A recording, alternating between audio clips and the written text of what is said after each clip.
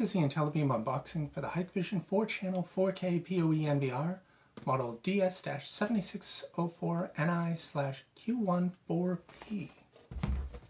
So here's what the box looks like. Let's crack it open and see what we got.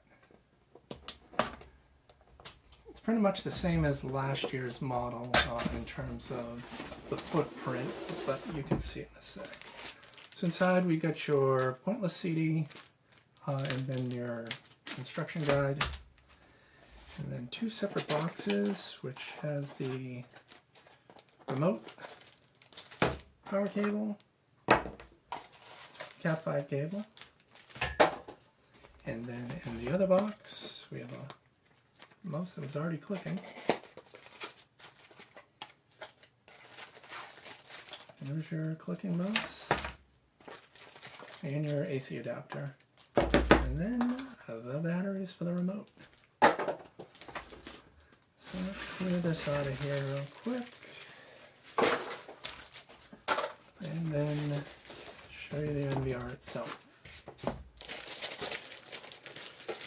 No piece of tape holding it shut, which is good because you rip it anyway.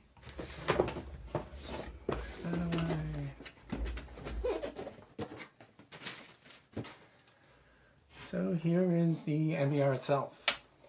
Uh, so in front you have a USB port you can use for a mouse um, or uh, for the firmware upgrades. So this particular model uh, can do four cameras up to 8 megapixels and then you have 40 megs of incoming bandwidth and 80 uh, outgoing bandwidth. Um, and then just some vent grids on the side. Here is where your fan is on this side. And in the back, you get your four PoEs, the audio in and out, um, the control ports, VGA, HDMI out, gigabit LAN, uh, USB port, and then the on-off power toggle.